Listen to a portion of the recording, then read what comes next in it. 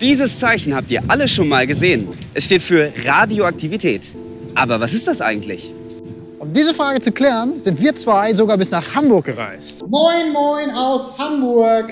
Wir sind hier im Daisy, im Schülerlabor, und wir schauen uns heute eine Nebelkammer an. Heute machen wir nämlich Unsichtbares sichtbar.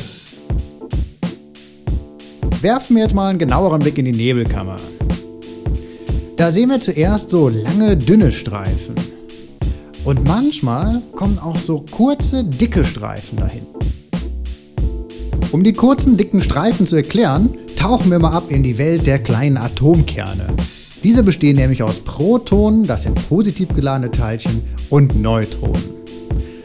Atomkerne sind aber nicht alle stabil, Manche sind instabil und zerfallen immer auf dieselbe Art und Weise. Beim Alpha-Zerfall wird urplötzlich ein Brocken aus dem Kern rausgeschleudert, nämlich ein Heliumkern. Und genau der erzeugt einen dicken Streifen.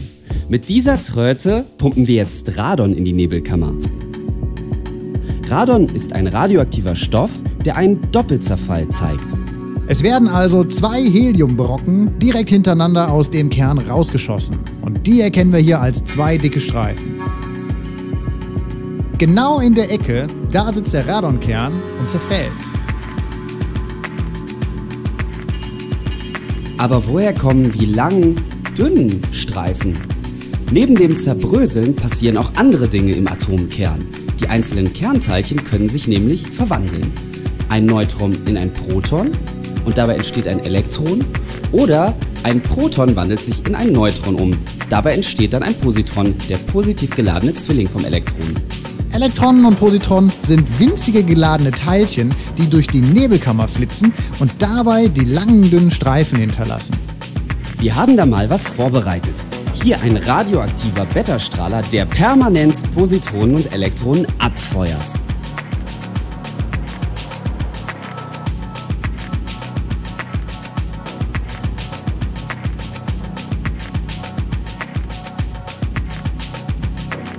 Die bei der Kernumwandlung entstandenen Elektronen sind ja geladene Teilchen. Und Magnetfelder können diese Elektronen jetzt ablenken. Mit diesen Monsterspulen erzeugen wir jetzt mal ein starkes Magnetfeld.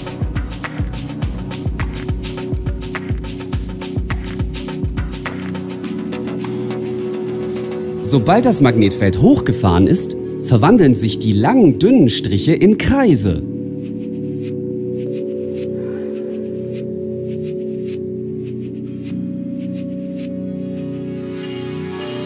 Einige der Kreise drehen sich links herum und die anderen rechts herum. Das eine sind die Elektronen und das andere die Positronen.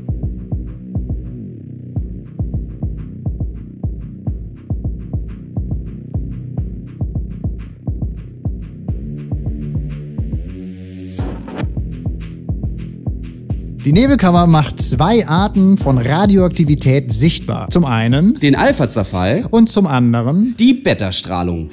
Der Alpha-Zerfall, das sind die kleinen dicken Streifen, die durch die Heliumbröckchen hervorgerufen werden. Die Beta-Strahlung besteht aus Positronen und Elektronen, die bei Kernumwandlung abgefeuert werden und sie zeigt sich hier in langen, dünnen Streifen.